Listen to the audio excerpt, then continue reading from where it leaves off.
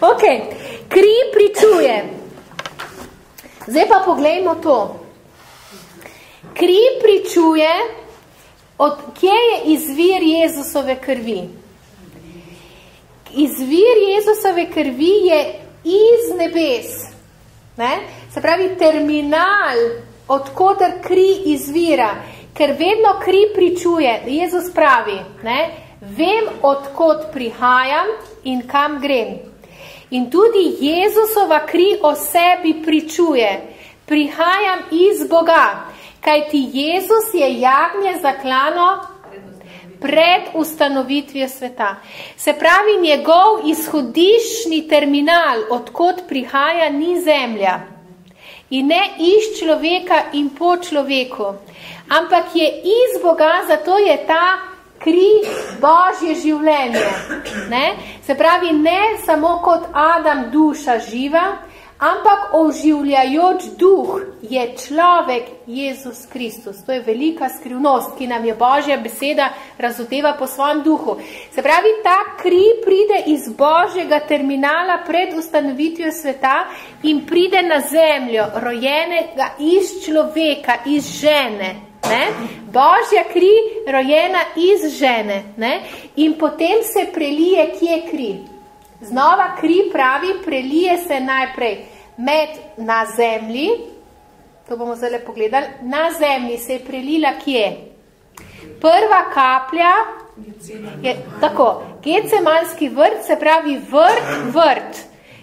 Gecemani je vrt Jezusovega trpljenja, ki je slika edenskega vrta, kjer je človek pred uh, spoznanjem, uh, drevesa spoznanjem uh, dobrega in hudega pokleknil ne? in je vzel sad.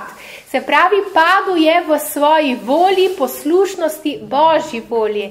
Medtem, ko kaj Jezus ko krvavi, se pravi, je to pot trpljenja, takrat ga še niso bičali, mučili, to je pot trpljenja, eh, tega pritiska od znotraj, kaj se potem zgodi, je ta kri padla na zemljo in Božja beseda pravi, da s tem ne, je Jezus znova izboril odprto pot človekovi volji, da lahko reče, ne moja volja, ampak tvoja volja. Ne? Se pravi, prvo mesto zmage Jezusove krvi, ki pričuje zmago, je, da se jaz ponovno lahko odločam za Božjo voljo. Predtem je človeški rod po padli krvi je bil zaklenjen v hudičevo voljo in ni imel možnosti izhoda. Zaklenjen si v voljo prokletstva in smrti brez izhodnih vrat. Zato je Jezus pršel in je rekel, moja kri pričuje, znova imaš izbiro, znova se lahko odloči za Božje življenje, ker v tem drugem vrtu je Jezus priboril zmago. Se pravi, prišel je s krvjo in kri priča. V redu? Drugo mesto, eh, kjer je Jezus prelil kri in ta kri znova govori, je na zemlji, še vedno na zemlji, ki je bila prekleta do takrat, ne, po, po, po božji besedi, eh, je mesto bičanja. Ne, to se je znova zgodilo, ko je še bil na zemlji. In kri pravi, ran, ranjeno je bilo telo in kri je prelita za vsako bolezen in bolečino. In kri pričuje. Božje življenje, je premagalo hudiča.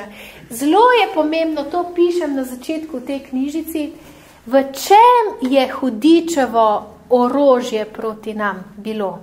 In je še vedno, če, če pustimo, je krivda, ne?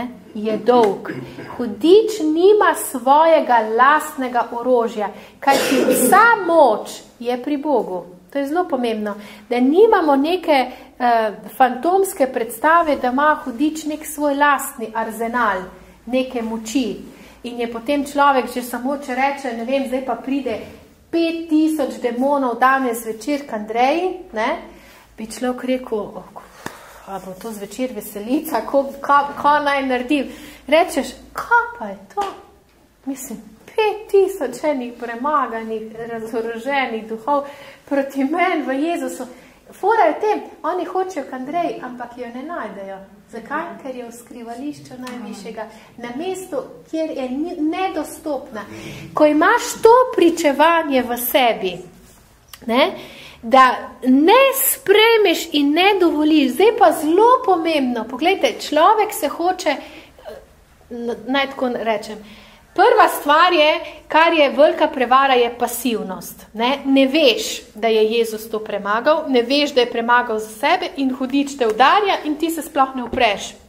Ne rečeš, ah, življenje je kruto z mano, sigurno je Božja volja taka, joj, kaj se to... Me razumete, človek sprejme, kar ti nekdo natrosi in ne veš, da to ni Božja volja. To je tudi en stadij, ne? prevaren.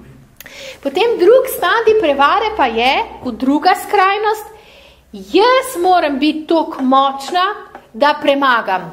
To je, to je pa drug stadij prevare, da iščeš moč v sebi. Ne?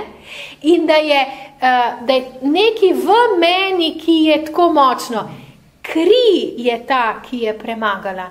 Gre za pričevanje krvi, da slišim to zmago, da vidim to zmago. Se pravi, prva stvar ni, kolikrat bom zdaj to rekla, kako glasno bom rekla, kak bom kričala ali ne kričala, ampak da najprej slišim, da res kri meni pove, kri pričuje. Božja beseda pravi, voda, kri in duh govorijo.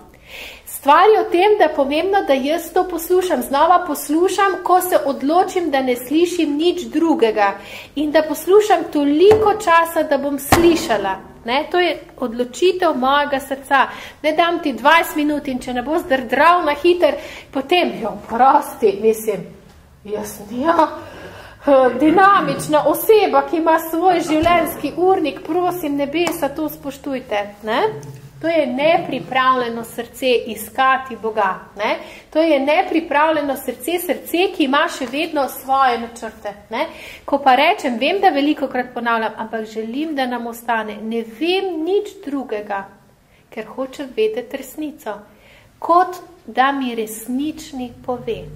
In poslušam tako dolgo in za skrajno predanostjo srca, da slišim. Fura je potem, da oče ne nehno govori, to Božja beseda pravi. Ni stvar o tem, da pa on zdaj tam spi in je na dopustu in zdaj si misli, čakaj, vidi, koliko časa bo zdaj ona zdržala.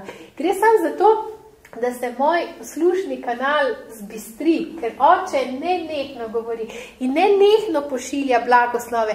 Vprašanje je samo, kdaj je srce pripravljeno to sprejeti, ne? ker drugače se veliko dobrega vsak dan dogaja, ampak gre mimo mene, ne da jaz to sploh zaznam. Um, okay? Se pravi, uh, kri pričuje, kri pričuje, da je Jezus bil bičan in mučen in da njegova kri prelita zato, da hudič nima oblasti do mojega telesa. Poslušajmo pričevanje krvi. Ne sam takoj aplicirati, aha, zdaj sem slišala, se je že kaj spremenili. Aha, zdaj sem slišala, me razumete, to je tist, hočeš, hočeš efekt uh, instant kave poslušam in poslušam in poslušam in poslušam in poslušam, dokler srce ni spremenjeno. V poslušanju, pogledajte, cela stara zaveza, berimo recimo in um, velike, male proroke in tako pravi, če bi poslušal, kako želim, da bi poslušal, potem bi tvoj mir bil tako, potem bi tvoja prosperiteta bila taka in taka in potem bi jaz lahko, če bi poslušal. In tudi potem novi zavezi pravi, da danes, ko slišite njegov glas, ne zakrtnite slišanje. Vse gre iz tega slišanja, ker vera pride potem po tem slišanju. Vse je, ko slišiš njegov glas, vse izvira iz Boga. Ne? In po, ko pa slišiš, slišiš pa kaj? Božjo besedo, ki je duh in življenje. Ne? Tako, se pravi, kri, njegova kri pričuje. Jaz sem prelita, da imaš svobodo na področju volje, ne? da se lahko ti podrediš Božji volji, da lahko rečeš, naj se zgodi tvoja volja, tako kot nebesih, tako na zemlji, v mojem življenju. In ne poklekam več pred hudičevo voljo. Se ne ustrašim njegovih napovedi, ne meditiram nad tem, kar on napoveduje za moje življenje, ker se njegova volja ne bo zgodila v mojem življenju, kaj ti kri pričuje. Jaz bi lahko stokrat govorila, dva tisočkrat na dan. Če ne bi kri govorila, so moje besede prazne besede. Ker Bog sliši samo to, kar sliši njegova beseda, ki se mu vrne. Ki se mu vrne skozi mojo vero. Okay? Se pravi, druga stvar je, da kri pravi, sem bila prelita na telesu, na človeškem telesu, da hodič nima oblasti do našega človeškega telesa. Okay? Zdaj bomo morali malo pohiteti, ker je še veliko. Kri je bila prelita strnjevo krono in kri prelita na človeški glavi govori. Poglejte, trnje govori kaj? Samo s trnje in osad. Imata svoj glas. In rečete, tukaj sem, da bodem, da uničujem, da ne prinašam sadu. Ne? Tukaj sem, da govorim, da je zemlja prekleta. Trnje in osad imata svoj glas in prečujeta da, o prekletstvu zemlje. Kaj pričuje Jezusova kri na, njeglo, na njegovi glavi zaradi trnjeve krone? To prokletstvo je zlomljeno. Ne? In je pomembno slišati pričevanje krvi. Jaz kri je prelita, Jezusovo življenje, njegova duša. To je tako pomembno, da, vam, da nam Božji duh govori, v krvi je življenje, v krvi je duša Božjega sina. In ona je darovana, da hudič nima oblasti trnja in osata nad tvojim življenjem. Ni, nima več oblasti, da ti da to težo, te skrbi, to, to neplodnost, ker trnje ne rodi sadu, ki bi bilo sad življenja in se ti zarije v glavo, da razmišljaš na ta način, razmišljaš skozi skrb, skozi strah, skozi majhnost, skozi neuspeh, skozi nerodovitnost, ker to gre v človekov um, v to. In rečeš kri, poslušam kri kri kliče svobodo. In na mesto trnjeve krone nam je kri pridobila krono iz čistega zlata, ki je čisto zlato, vemo, da je slika Božje vere, ki je prečiščena v Božjem ognju, ker po veri ti stopaš v Božje dostojanstvo, v vso avtoriteto, ki nam je Gospod dal. Poglejte to, če boste gledali v tem času, ste še kakorkoli, Meni je ta prizor iz teh uh, filmov, uh, ne vem, kateri že, ko jih je več, Jezusovo križanje, uh, ko, ko je Jezus popolnoma iznakažen, okrvavljen, strnjovo krono, ponižen, popluvan, vse, kar hočete, in ga Pilat ven pripelje. In kaj je rekel? To je človek. In to je resnično popolna slika hodičevega dela nad človekom. Je to res? Popolno ponižanje, ker eh, vsi ti filmi prikazujejo silno blago senco, ko mi beremo Božjo besedo, pravi, da, da, da je iznakažen bil, da ni bil več podoben človeku, da je njegovo telo, meso bilo v celoti odprto, da, da so se mu kosti in izkoliko razpele, skratka, da je popolnoma... Um, iz, izmesarjeno bitje, ki je še pač živelo, ampak ne človeku bil podobno. In ko vidiš to poniženost, izmesarjenost, izmučenost, preuničevalno hudičevo delo in to je, meni je to taka dragocena stvar.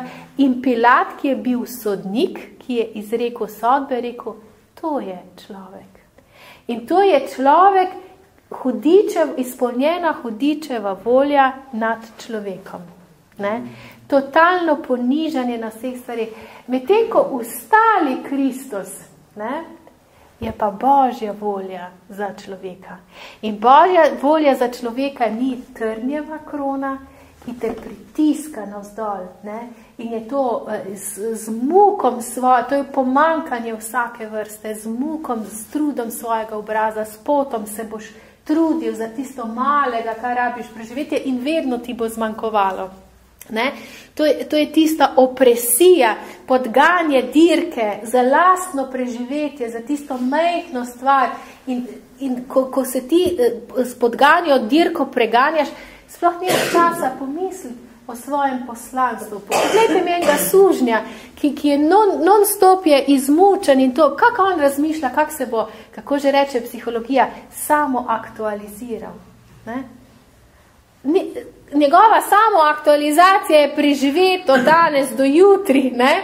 Kako, kako je sploh neko normalno hrano, prije do normalne hrane, do kakšnega slučajno oblačila, do, do malo miru, skratka, do tiste stvari, ki, ki je res čisto bazična. Ko vidimo to, uh, kako je uh, Jezusova kri trnjevo krono premagala, ona pričuje, znova, lahko informacija vem, znamo vse to našteti. Lahko pa tok časa poslušam, znova rečemo, nič ne vem, dokler ne slišim. In ko slišim, da mi kri pričuje, in mi pričuje kri na trnjevi kroni, zmago nad hudičevim delom, potem ta, to pričevanje v meni začenja rojevati vero. Ne v mojo lastno moč, se, jaz sem že svajtala, veste, tok časa bom noter. Znova iščem svojo lastno. Tu ni oblasti. Kri pričuje. Gremo naprej, moramo hitro. Se pravi, uh, žebli so bili na rokah, zdaj bomo zelo na hitro povedali. Znova uh, Božja beseda pravi, Vse, česar koli se dotakne tvoja roka, uspe. To je Božja volja. Vse, česar koli se dotakne tvoja roka, uspe. To je pričevanje Jezusove krvi na njegovih rokah. Ne? Poslušamo Jezusovo kri, ki govori. Ne? Drugač, eh, prokletstvo pravi, ti se dotakneš in še tisto, kar je bilo pozmanjšano, bo propadlo. Ne? Vse, česar koli ti prideš, eh, to je bedno, majhno, nič ne bo uspelo. Kri pričuje. Kri pričuje, eh, avtoriteto, že v stari zavezi eh, Jožef je slika Jezusa Kristusa in kaj Božja beseda pravi, ker je bil Bog z Jožefom, je bil uspešen človek. In česarkoli se je lotil, je uspelo. Časih je bilo videti, da ni, ampak samo pusti malo časa in vidiš, kak se obrne, da tisto, kar je bilo videti, ah, oh, kaj tole pa taka katastrofa. Ravno to se je obrnilo in je bilo največje veličastvo. To, da je šel v zapor, je bila odskočna deska direktno k faraonu. Ne? Tako da je to velika stvar, da, da pustimo Jezusovi krvi, da pričuje. In Jezusova kri, eh, prebodena na, zaradi prebodenih nog, pričuje kaj? Znova govori, Vsak prostor, kamor pridejo tvoje noge, ti ga dajem. Amen. To je, ti si pooblaščen za nositi evangelij miru. Amen. Nič več tvoje noge, kaj, kaj pa hudičeva napoved pravi, tvoje noge so to, da bežijo pred sovražnikom, da te nenehno preganja in ti padaš in moš nenehno pred njim bežati in ti si ta preganjani, ki bežiš ki se skrivaš, ki, ki si na nikogaršnji zemlji, ne? ki si nek brezdomec. Božja beseda zaradi Jezusove krvi na njegovih nogah ti da znova mesto avtoritete. Ne? Zemlja, na kateri stojiš, je sveta zemlja. Zaradi svetosti, ki jo prinaša sveti, ki stoji na tej zemlji, znova kri govori. Vzamem si čas, ker ni bolj pomembne stvari, da slišim, da slišim pričevanje krvi. Ker če ne slišim pričevanje krvi, pričevanja nimam v sebi. In potem mi pričujejo druge stvari laži in jaz se nimam s čem upreti da bi resnica zmagala nad lažjo. Si predstavljate? Da, da me nekdo zdaj toži in samo govori stvari, jaz sem pa tiho in ne vem, kaj bi rekla. Kaj se vi pa mislite? Se mislim, da je pa res to naredila, se nič ne reče. Ne? Če, pa, če imaš pa resnico ne, in veš, kaj je tvoje, specialite nek, da mi hoče vzeti avto in jaz samen stojim. In si mislim, to je pa res hecno. Ne? In mi avto vzame, noben nič ne naredi. In doma žalujem, da nijem avta. Ne sporočim policiji, ne sporočim nikomor, ne povem, da, da, da je na moje ime to napisano. Ko pa veš, da je tvoje zaradi plačila Jezusa Kristusa in ti to pričevanje govori, hkrati pa pride hudič in reče, ne bo uspelo. In ti rečeš, in kdo si ti? Če imam jaz pričevanje krvi, men kri govori in kri pričuje, To je kri Jezusa Kristusa, najvišjega, njegova duša, to je njegovo življenje. Ne imeti občutek, to je pač neka rdeča tekočina, se labi bila pa. Ne? Kri je njegova duša, je Božje življenje v njegovi krvi, zato je v tej krvi maksimalna moč. Ni druge moči večje, ki, ali pa sploh, ki bi sploh lahko um, se s tem uh, uh, primirjala. Ne? Zdaj bi pa najraj Alenko povabila, da bi povedal o srcu. Alenka ima tle visoko razodetje. Uh, Božja beseda govori o zlomljenem srcu oziroma o, o tem, da se je tekočina vode nabrala žep vode okoli Jezusovega srca, kar jaz pač nisem iz zdravstvenih strok, oči je, uh, trdijo, da, da v bistvu to je posledica zlomljenega srca. Ne? Se pravi, kri Jezusa, ki je tekla iz njegove strani, pričuje, da je on ozdravil vse moje rane srca in da je on edini, ki je moj zdravnik in da mi je dovolj v vsem. Ne? Ker človek lahko izkusi odvrženost, zasmehovanje, zastrahovanje, ponižanje. To so tiste stvari, ki ne moš reči, lej, prebičal me je ali pa nekaj, kar bi bilo materialno.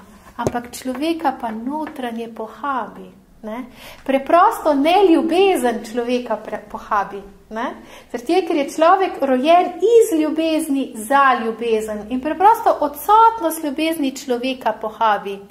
Ko pa vidiš kri Jezusovega srca, potem pa vidiš, da ti je celoten Bog za svojim srcem dan.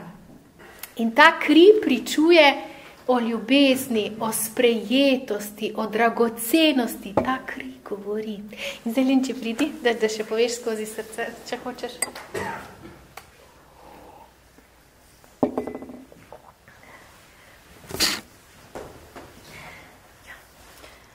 Ja, jaz sem se začela spraševati, uh, kaj je bilo tisto v Jezusu, eh, ker on je prišel kot človek in vsa ta trpljenja, vse bolezni, vso prekletstvo, kaj je bilo tisto v Jezusu, Boga je zapustil, da ga je obdržalo, da je lahko to premagal. E, in pol mi je bil pač odgovor, da je to njegova velika ljubezen, ljubezen Božja. To je ostalo v njemu, božanskega Božjega in to je, da je on zdržal. In te bolečine in vse to, to je bilo tako močno, tako hudo, da se je njegovo srce razpočlo. In S tem, ko se je srce razpočlo, je nam omogočil ta prehod iz svetega v najsvetejše, ker takrat se je tudi zastor pretrgal v, v templju. To se je istočasno zgodilo. Uh, in krik je bila prelita, uh, takrat je za vsakega človeka je bila prelita ta kri, vsak je dobil svojo kapljo krvi. In zdaj je samo na nas, a to kapljo vzamemo, a jo imamo v svojem srcu, da se tukaj namnoži v našo telo. Kri nas je očistila, kri nas je posvetila eh, in zdaj ta kri nas tudi v telesu v bistvu potem še lahko čisti, posveti, ozdravi, povzdigne. In to je to, kar je največ, kar, kar smo dobili od gospoda.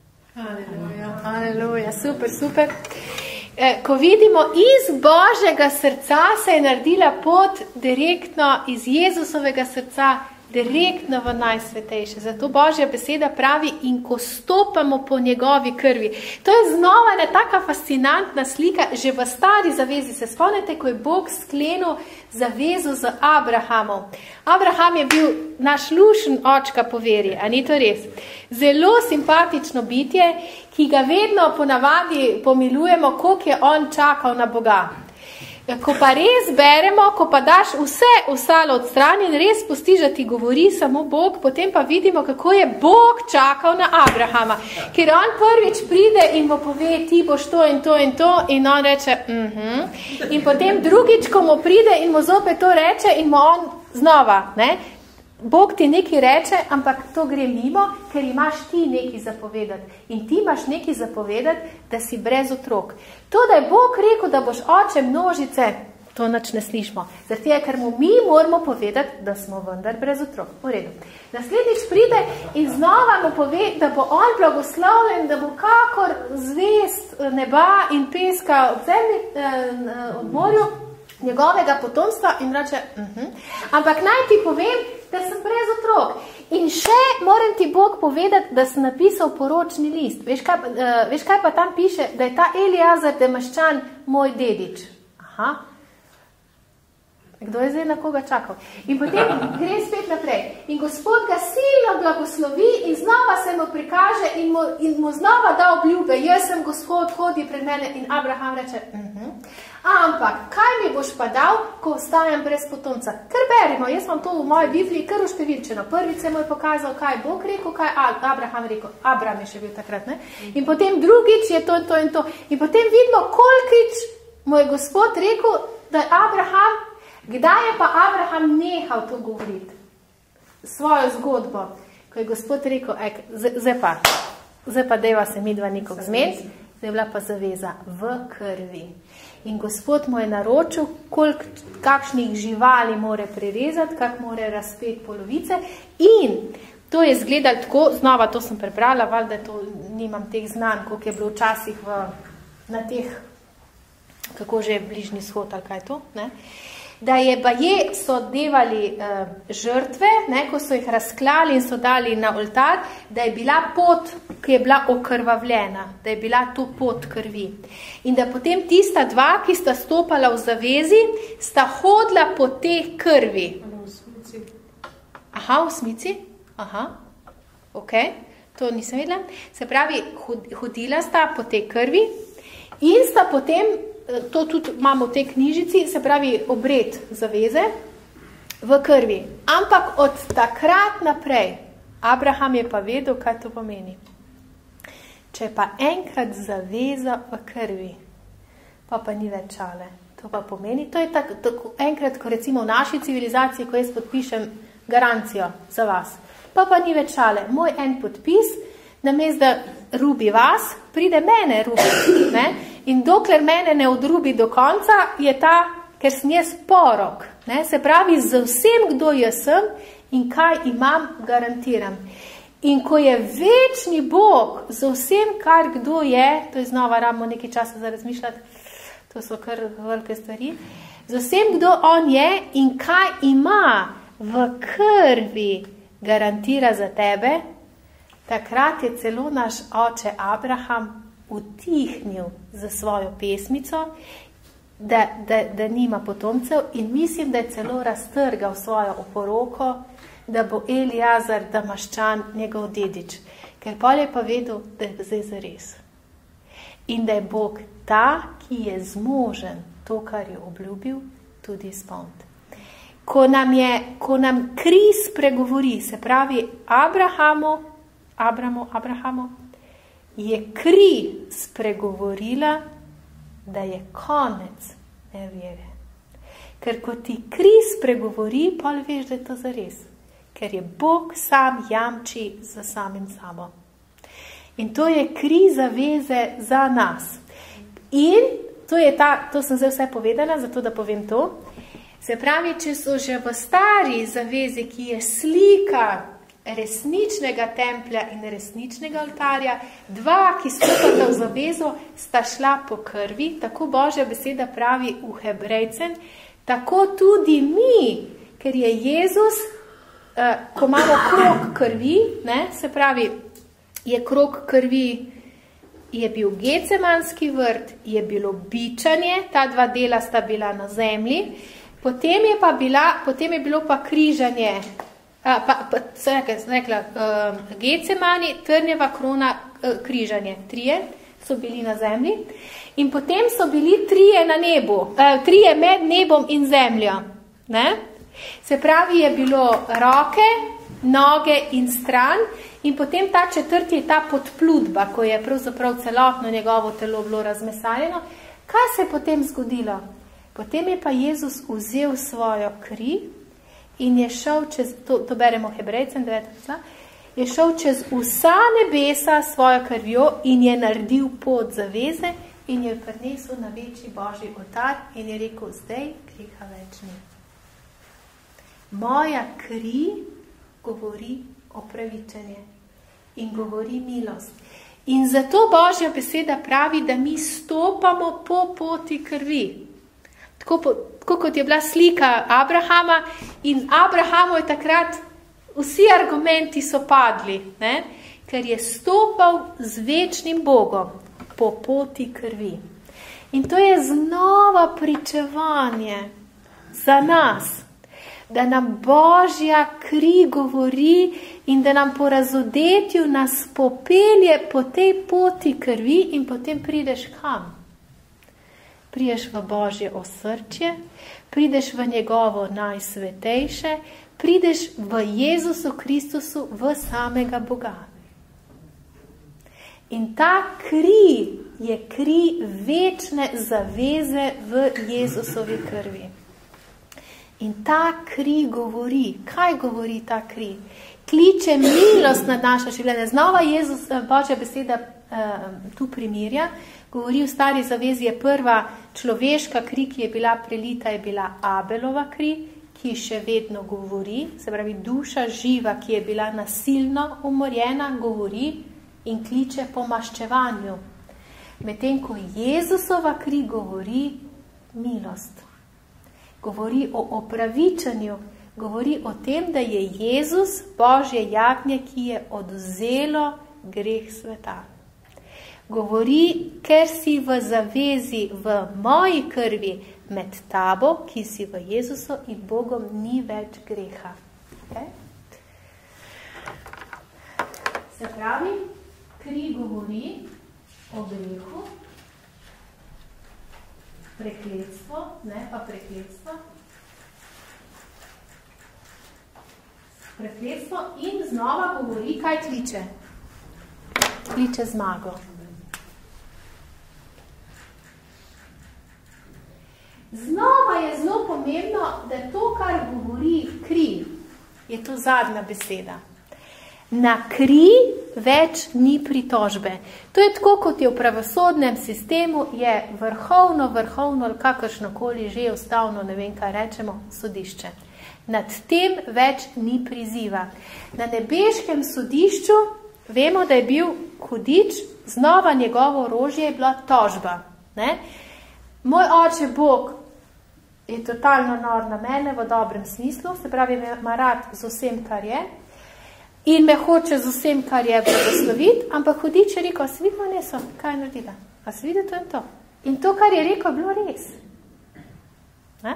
Se pravi, ni on lagal. Res so bile to moje tožbe in moje krivde, res sem bila mrtva v grehu, uporna, skratka, ločena od Boga, da, da, da, da. Ne? Se pravi, v padlem stanju, v uporniškem stanju, kakor je, kdo je, kdo je oče upornikov?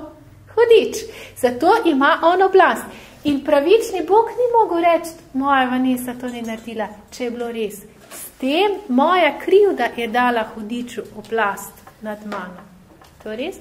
to je njegovo orožje zoper mene. Ko pa greha in krivde ni več, ko se na Božjem sodišču pojavil Rimljanom 8. poglavju piše zagovornik, Jezus Kristus pravični. In za vsako, ko reče, lahko hudič. Le vidiš tole? Kaj je to, to, to, to? Jezus reče, ampak moja kri.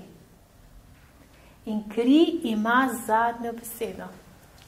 Nad krvjo ni druge inštance. In ni prizivnega sodišča. In ni, zato Božja beseda v koncu Rimljanov 8 pravi, ko govori o Jezusu, ki nas zagovarja, pravi, ker je Bog za nas. Zaradi Jezusove krvi Bog ni več naš nasprotnik, ampak je Bog za nas. Kdo je lahko zoper tebe? Ko kri govori za tebe, kdo lahko govori proti? Zato si vzamemo zelo čas. A veste, mi smo še pri krvi, pa nismo niti do duha prvi. Bori se sam smeji, ne? si misli, ja, kak treniramo z njo potrpljenje. Kak si prijazen, hvala. Um, kri govori, zato vzamemo njegov, gov, njen govor zelo resno, to so Jezusove besede in vsak del pričevanja Jezusove krvi se konča s čem? Dokončano je. To in to in to kri dela in je dokončano. To in to in to avtoriteto sem dal in je dokončano. Ker to so Jezusove zadnje besede, zadnje besede človeka Jezusa Kristusa na križu.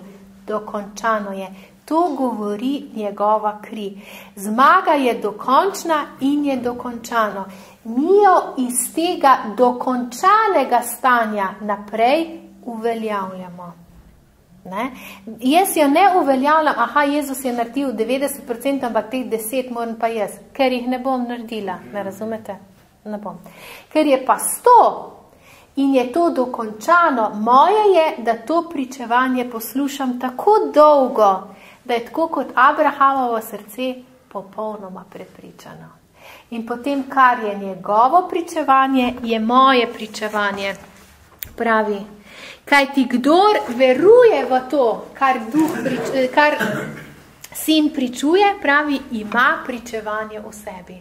In potem to pričevanje, jaz nimam nekega x pričevanja. Ljudje reče, a veste, jaz pa res nisem šolana v božjih stvarih ali pa res nisem poklicana, jaz ne vem, kaj bi rekla. Vse ti nič ni treba reči.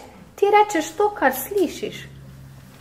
Samo to, kar slišiš in to je dokončno pričevanje. Jaz se lahko delam ali pa vi kot ne vem, kak, kak lahko fajn govorimo ali pa ne fajn govorimo, ko je to brez veze, ko nebesa ne slišijo bo, besed, ki niso v božji, iz božje besede, ko nimajo avtoriteto nad, nad hudičem in nad svetom.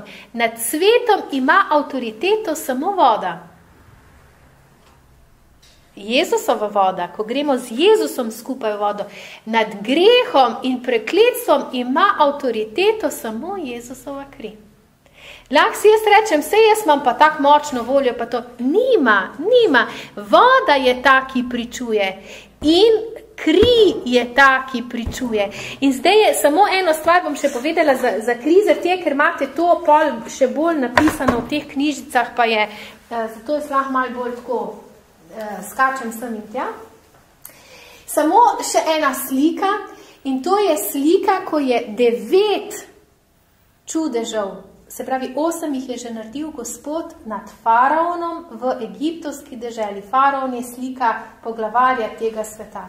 Osem jih je bilo, na začetku je videti bilo tako malo cigo migo, ne v tem smislu je en vrgo palco, pa je bila kača, pa je, so egipčani vrgli kačo, pa je bila palco, pa je bila tudi kača, pa se je zdelo vse to je skoraj isto.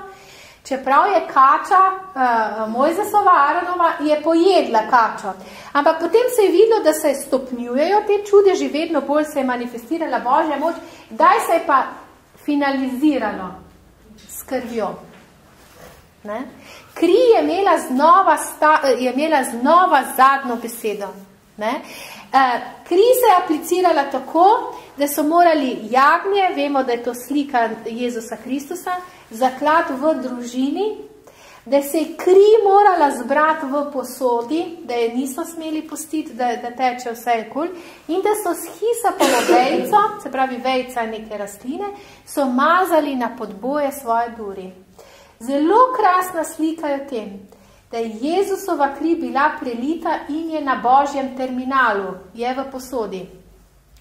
Ampak, če jo Izraelci niso vzeli s hizapovo vejco in jo mazali na podboje svojih vrat, je bila ta kri brez moči za njih, čeprav je v sebi imela vso moč premagati angela smrti.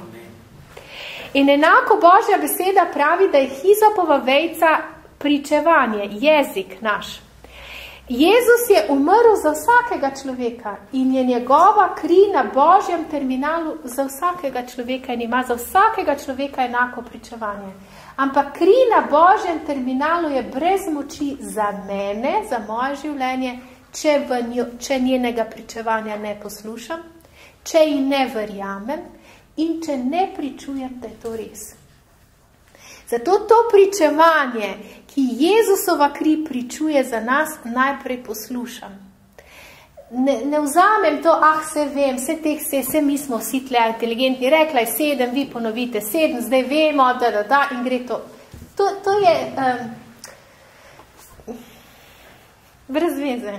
A vete, to, to je neka informacija, ki je brez moči, če, če si ne vzamem čas v, za to puščavo, ki, ki ne poslušam, ki pozabim, kaj so drugi rekli. In, in slišim, ona kri res govori.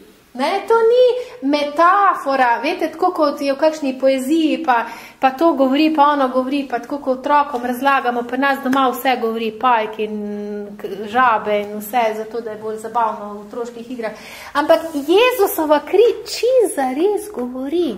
In naše srce je čiz za res lahko sliši. In samo vzeti si tolk časa in pripraviti svoje srce, da ti je to res pomembno, da veš, da je to vez z novim življenjem, da je to vez z bogatim življenjem, da je to vez z božjim življenjem. Potem daš na stran druge stvari, ki se tudi zdijo pomembne, ne? ker drugače pa nik nikoli nimam res tega časa.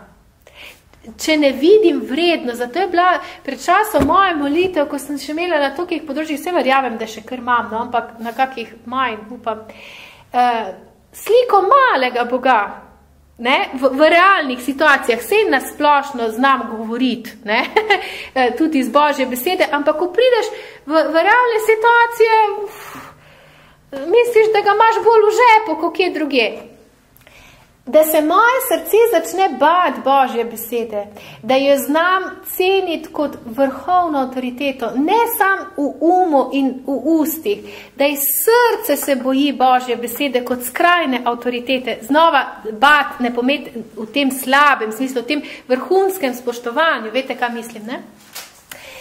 Ker potem veš, da če ne slišiš od Boga, ostajaš v smrti in ostajaš v laži in da sama ne morem pride do življenja, če najprej ne slišim.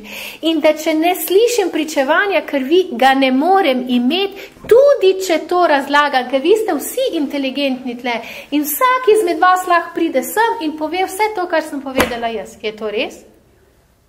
Ampak to je um in jezik. Če ni to iz srca, če ne pove duh, ne, duh te krvi ne pove meni, meni osebno, gospod pa tako govori, da vsak ve, da res ve. Pove na način, recimo lahko vam pove drugače, ko bi se jaz bi to lahko preslišala ali pa ne, ne bi se mi dotaknil. Meni pove to na ta način, da, da, eh, da moje, pričeva, moje srce pričuje, da je to res, da sem res slišala. Ne? In potem srce naredi, eh, se preoblikuje in srce prejme pričevanje. In to pričevanje ima oblast nad svetom, nad grehom, nad hudičem in nad vsakimi duhovi smrti. Okay?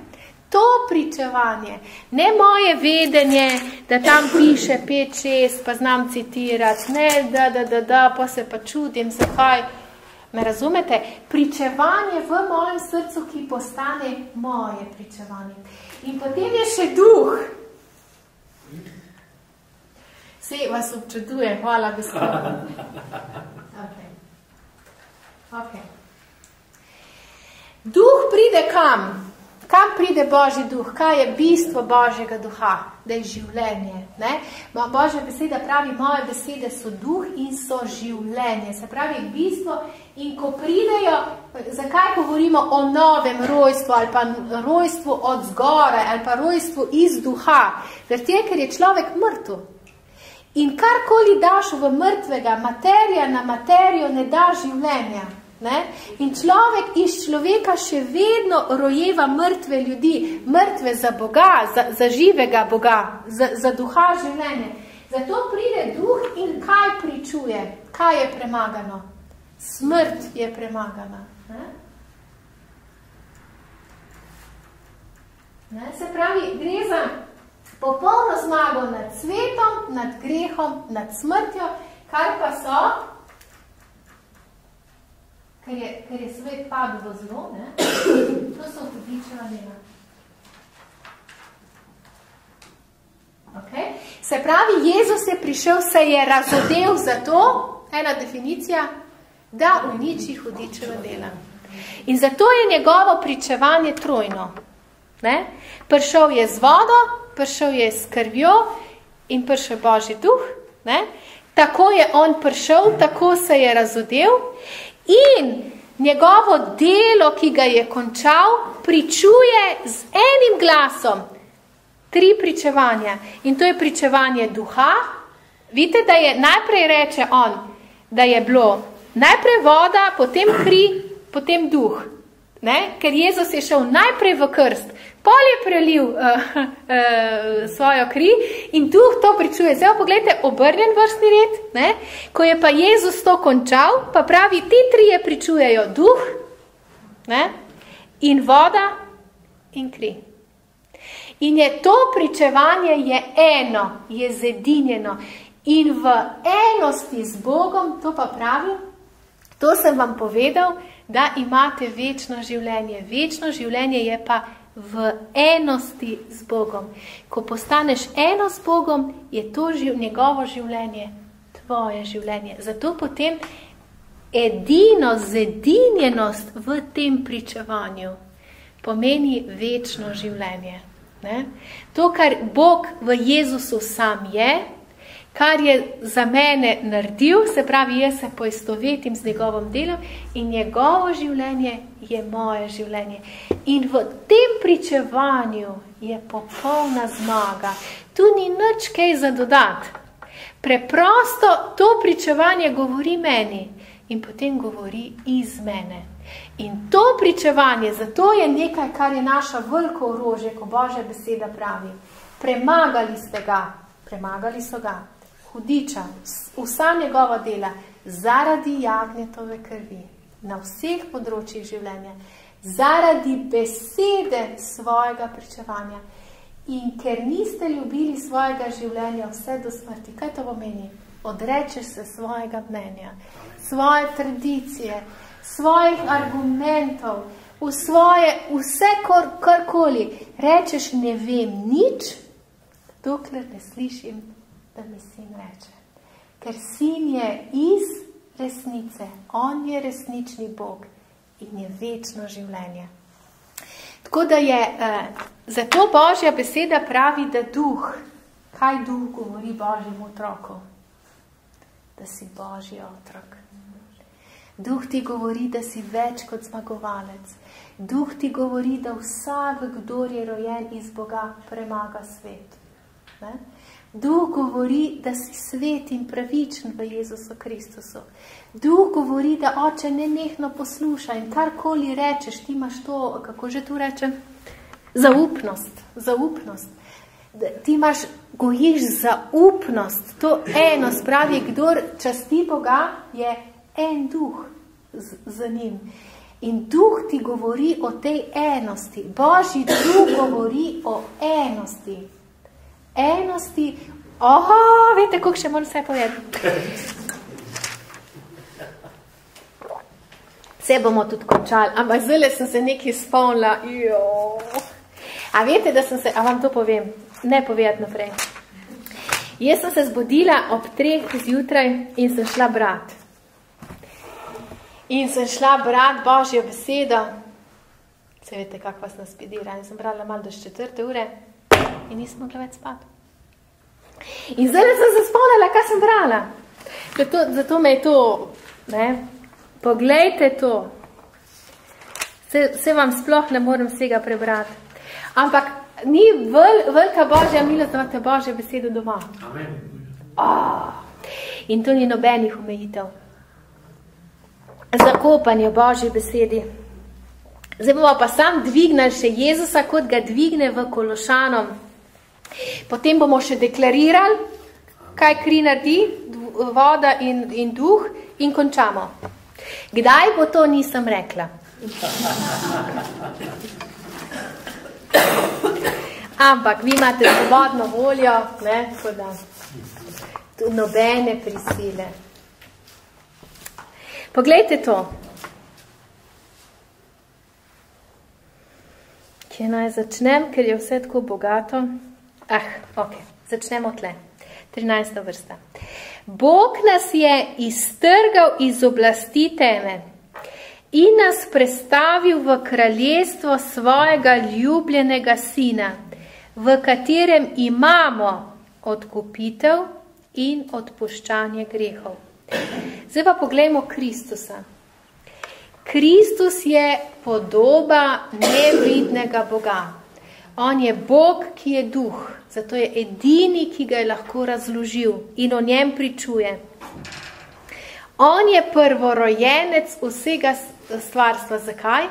Ker je iz Boga duha išla v začetku beseda. Ne, zato je on prvorojenec in po tej besedi je ustvarjeno vse. Kaj ti v njem v njem, to je meni velika stvar, enkrat sem dobila Božje razodetje, ne vem, če sem že to povedala, da je Jezus najprej, mislim, ja, lastnik in potem stvarnik. In jaz sem mislila, o, dear, najprej stvarnik, pa lastnik, ne, najprej stvariš, pa si, ne, ne, najprej imaš v sebi. In ko imaš v sebi, potem ta beseda gre ven in ustvarja. Se pravi, on je ta lastni, uh, kak, kak sem rekla, lastnik in stvarnik vsega. Kaj ti v njem je bilo ustvarjeno vse, v njem, v njem je bilo ustvarjeno vse, kar je v nebesih in kar je na zemlji. To je znova, uh, za razmišljati, vidne in nevidne stvari, tako prestoli, kakor gospostva, tako vladarstva, kakor oblasti. Vse Vse, vse je bilo ustvarjeno po besedi, po Kristusu in veste, kaj še piše zraven? In zan. Kje si pa ti? V Kristu. Je začelo kar zvoniti, pogledajte to. To se je telefon naspidiral. Kristus je obstajal pred vsemi stvarmi. Poglejte, ko, ko nam stvari hočejo govoriti, imamo pričevanje večjega, ki je bil pred vsemi stvarmi. Ne? E, zato je zelo pomembno, ko pustimo, da naše srce utihne, potem lahko zahtevamo, da utihnejo tudi stvari. Če v meni moje srce žubori z tolkimi stvarmi, nimam avtoritete, ne, da vtihnejo tudi zunanje stvari. V njem je bilo utemeljeno vse, kaj ti Kristus je glava telesa, to je cerkve.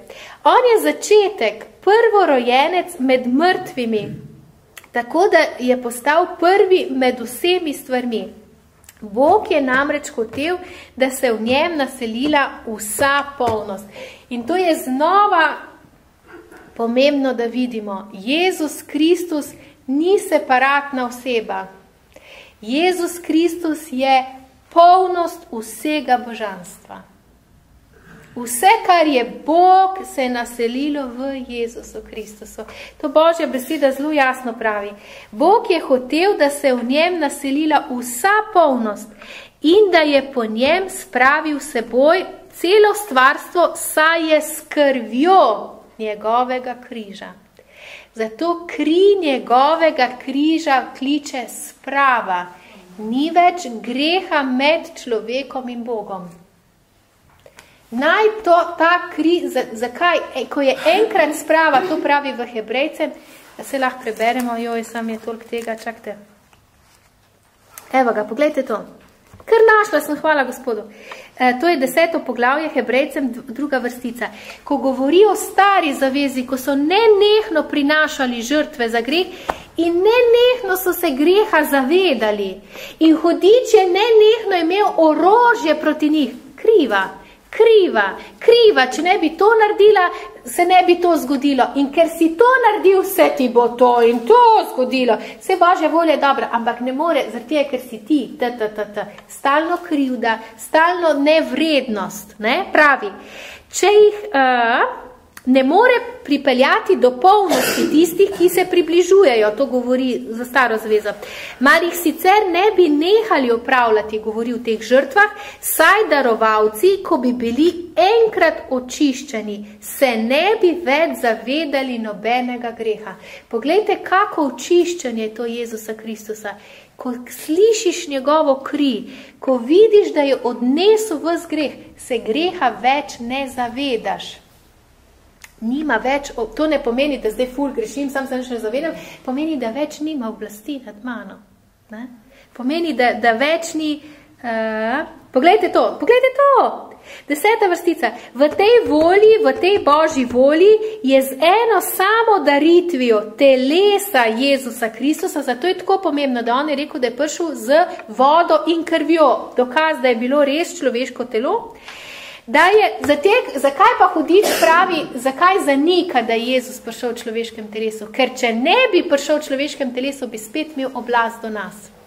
Če ne verjameš, da je bil Jezus tudi človek, potem ima še vedno oblast do tvoje duše in do tvojega telesa. Ne? Zato je to zelo, zelo pomembno, da smo z daritvijo telesa Jezusa Kristusa posvečeni enkrat za selej. Se pravi, zakaj v Božjem templju ne nehno, kaj, kaj, kaj govorijo? Svet, svet, svet. In ta svetost, to pričevanje krvi svetosti je v nas. E, zato Božja beseda v teh pozdravih pravi sveti in ljubljeni bratje. Kaj pa religija uči? Grešniki, še vedno ste v starem, eno drugo. In zakaj to uči? Ker če to verjameš, ima hudič še vedno oblast na tabo. Zato, ker imaš še vedno krivdo, še vedno te lahko toži. Ampak vse to ni zaradi moje svetosti. Ne? To je naravno, res rabim vero v Jezusovo kri, da sprejmem Jezusovo upravičenje in da kri reče, opravičena si s Kristusovo pravičnostjo. Si Božja pravičnost v Jezusu Kristusu. Nimaš več zavedanja grehov. A, ko pa pridem tam, ko pa mi ta kri to pričuje, imam pa zaupnost z Bogom. Ker dokler sem pa dolžna, dokler imam pa krivdo nad sabo, jaz se izogibam, ne? se se kakorkoli eh, odmikam od Boga, ko pa ni več krivde, ko ni več dolga, imam pa to enost. In to pričevanje je zedinjeno, kri, voda, duh, eno pričujejo in Jezus in jaz pričujeva eno. Takrat je zmaga popolna. Takrat hudič več nima teritorija, s čim pride.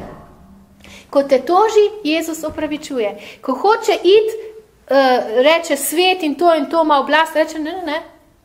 Jaz sem bila skupaj s Kristusom pokopana v krstu. Jaz sem šla z vero v krst in z vero iz krsta v njegovo smrt. Voda pričuje za mene, da svet nima več oblasti do mene. Hoče prideti z, z grehom, a, a, Jezusova kri, ki pričuje, ne? da sem opravičena. In potem reče, ne, nisi Božji otrok, to je, ne, ne, ne, jaz sem pričevanje duha. Duh pričuje, da sem Božji otrok. Kje ima potem hudič oblast nad dušom, dušo in telesom? Nima več oblasti.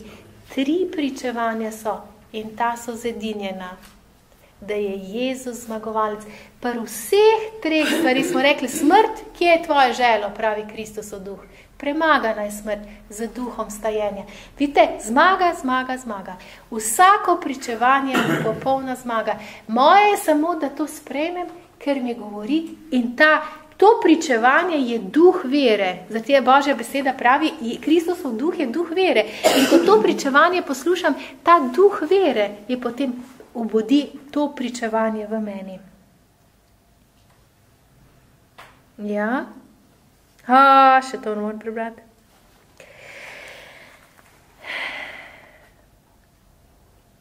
Sam to še preberem, obljubim, pa pa ne bom več. kaj ti v Kristusu telesno biva vsa polnost božanstva. To smo že drugič prebrali. V njem imate svojo polnost tudi vi. Polnost božanstva. Poglejte, če je stotstotno v Jezusu, jaz imam pa Jezusa, koliko božanstva imam v sebi? Kak ste pametni? Točno res. Točno to. Razmišljimo to. To pravi Božja beseda. To je pričevanje. V njem imate svojo polnost tudi vi, kajti Kristus je glava vsakršnega vladarstva in oblasti. Se pravi, vsakršno vladarstvo, ko hoče iti in vsakršno oblast, ki hoče iti proti meni, imam Kristusovo pričevanje na vseh področjih in on je glava nad tem. Ne? Se pravi, ti imaš vrhovno avtoriteto. V njem ste bili tudi obrezani in sicer z obrezo, ki je ni naredila človeška roka, ampak s Kristusovo obrezo, s katero ste slekli svoje meseno telo. S krstom ste bili namreč pokopani skupaj s Kristusom, vidimo pričevanje vode. V njem ste bili obojeni po veri v delovanju Boga, ki ga je obodil od mrtvih. Skupaj s Kristusom je oživil, to je delovanje duha, tudi vas, ko ste bili mrtvi zaradi prestopkov in zaradi neobrezanosti svojega mesa. Odpustil vam je vse grehe, čigavo pričevanje to? Pričevanje krvi, odpustil vam je vse grehe in izbrisal zadolžnico z vas, ki se je s svojimi določbami glasila proti vam. Odstranil je iz vaše srede in jo pribil na križ. Razorožil je vsa vladarstva in oblasti, ter jih javno izpostavil, ko je v Kristusu Bog slavil zmago. In hvala gospodu, da imamo vstati, ker imamo toliko razlogov, da slavimo zmago. Okay? Uh, jaz bom govorila, vi lahko govorite v srcih, lahko z ustnicami, kako želite. Visoko te poveličujemo, Gospod Jezus Kristus, ker imaš ti pričevanje vode, krvi in duha. In hvala ti, ker si ti pršel po vodi, krvi in duhu. In hvala ti, da si ti to pričevanje izpolnil in si to pričevanje dal nam. In mi se odločamo, da smo iz resničnega in za resničnega. In zato se odločamo, da ne slišimo nič drugega in da nimamo nobenih drugih mnen, ampak da vzamemo samo pričevanje Gospoda Jezusa Kristusa. Odločamo se za tvojo resnico in pričujemo, da je voda, po kateri je prišel Jezus, da je to voda njegovega krsta, da je to moj krst v Jezusu Kristusu in s tem sta, je ta svet zgubil oblast nad mojim življenjem. Svet je mrtev meni in jaz sem mrtva, mrtev svetu. Hvala ti za pričevanje Jezusove krvi, ki kliče boljše stvari, kakor Abelova kri. Hvala ti, ker je ta kri dokončano je na vsakršnem področju. Hvala ti, ker ta kri govori meni In Jezus, odločamo se, da ti damo čas in da ti damo nerazdeljena srca. Ti veš, da naša odločitev ni dovolj, če to ni tudi tvoja milost. In te prosimo za milost, da naredimo konkretne korake, da pustimo, da nam ta kri govori, da nam voda kri govorita in da nam govori tvoj duh. Zaradi je, ker tvoj duh, voda in kri govorijo zmago, zato te oklicujemo za zmagovalca, za edinega vladarja neba in zemlje, za edinega gospodarja nad našimi duhovi, nad našim duhom, dušo in telesom. In ne priznavamo nobene druge oblasti, nobenega drugega vladarstva, nobenih drugih mnen, nobenega orožja, kaj ti ni nobenega orožja narejenega z zoper nas, ki bi lahko uspelo zaradi pravičnosti, ki nam je bila dana zaradi tvoje krvi. In mi sprejemamo tvoje pričevanje. In ga poslušamo, dokler to pričevanje ni tako močno pričevanje, da mi pričujemo.